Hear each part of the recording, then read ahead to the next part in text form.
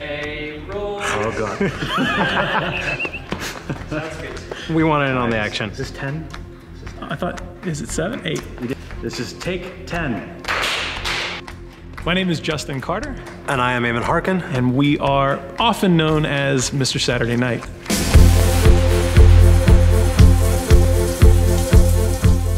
When do we meet? 2005? Yeah. Something like that? Yeah. I've known Eamon for a long time.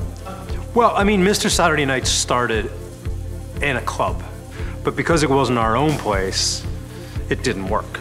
What have you and I been doing for the past eight years? More or less, we've been going into DIY spaces and we've been setting it up the way we thought was the best way to have people connect with music and connect with each other. We decided that the only way it could work was to go and find basically like a blank canvas and create the environment ourselves. Like Justin, I'm really interested in how people collectively experience music.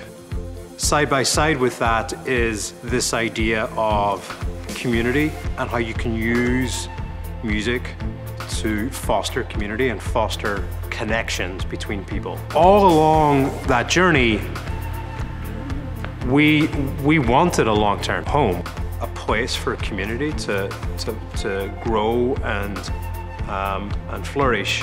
So why why is nowadays in particular special? Because we have this beautiful outdoor space and because it's home for this community that we've developed.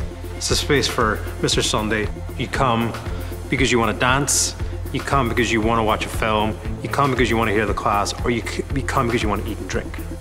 We want to continue to develop that and grow that by opening the other half of nowadays, so that nowadays is a consistent place that exists all year round, every day of the week for all those people, and then all the other people that will join them to build that community and extend it for, for years to come.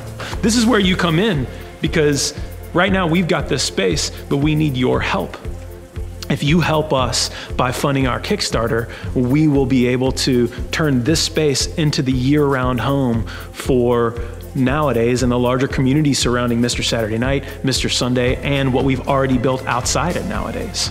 We hope that you will contribute whatever you can, and we hope to see you very, very soon right here uh, with a, a beautifully built out, finished space.